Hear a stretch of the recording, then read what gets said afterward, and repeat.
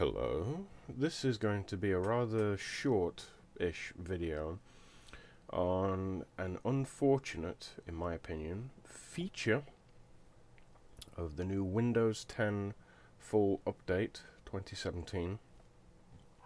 I've got here Chrome open, I've got Task Manager open, there are a bunch of other programs this affects, but just for demonstration purposes I'm going to keep it to these.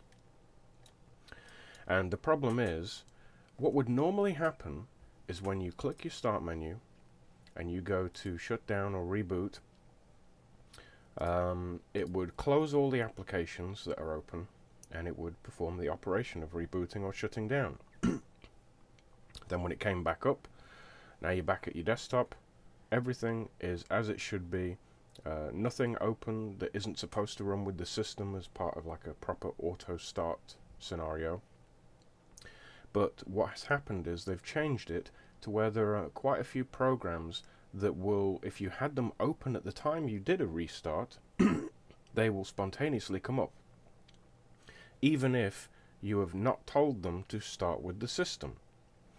So, as a little example here, I'm going to show it to you uh, with a slight twist of a configuration to kind of maybe make it a bit more uh, aware to you that this is a bit of a problem potentially and also a solution that I've tracked down online that I want to share with you.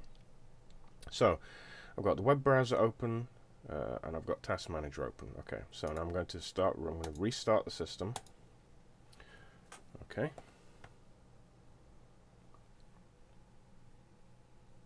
I might speed this up a little bit, cut a little bit out, just to make it go a little bit quicker. Okay, getting closer. Here we go. Logging in. Okay, and now we have the desktop. But wait for it. Just watch. Any second now. Even though I haven't told it to do this, there's Task Manager. For no reason. Oh my gosh, there's Chrome. How embarrassing could that be? Look at that. So I go and restart the system. I walk away. Don't worry, I'll, it'll be back on in a minute.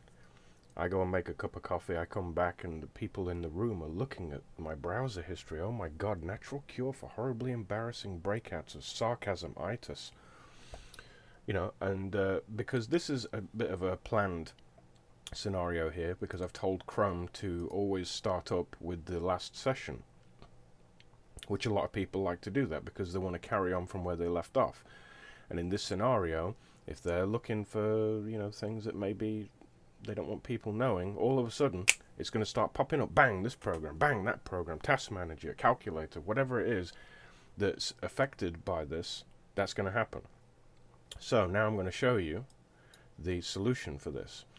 Um, you can either press the Windows key and D to minimize everything, or if you have access to your desktop, like you can actually click it, just click the desktop and press the Alt key and F4 key, and you'll see this dialog, which is a really old dialog that's only used these days typically by servers and Windows XP.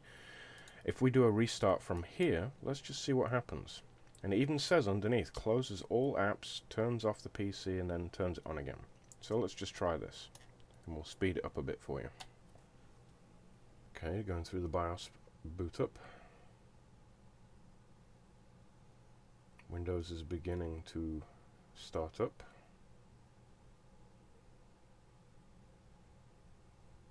Alright, here we go.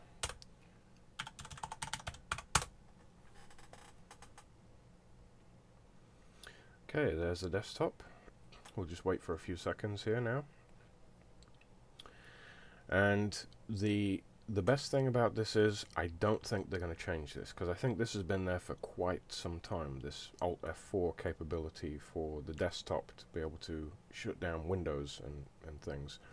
Alt F4 is a hotkey you can use on the overwhelming majority of programs out there. It will either close a window of a program that's popped up or it will entirely close the program. For example, when I'm online gaming, uh, many times I'll just press Alt F4 when I'm done instead of waiting for the ending screen and then clicking on a menu and then clicking on quit. I just press Alt F4. Done. Other than Counter-Strike Global Offensive where that doesn't seem to work. But there you go. That's a little tip for you uh, now with this wonderful update to Windows 10 that's causing more bug uh, features. Uh, if you found this video useful or interesting, please like, subscribe, and I will see you next time on the next video. Thank you.